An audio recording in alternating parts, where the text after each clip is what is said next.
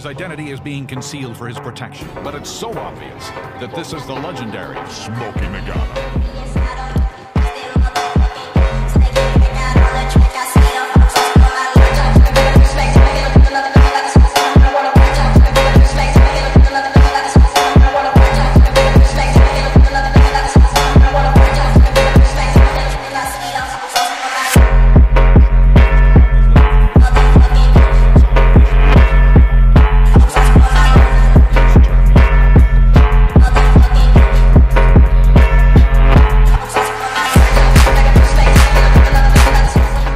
monster, man. Oh, I'm a motherfucker. Monster.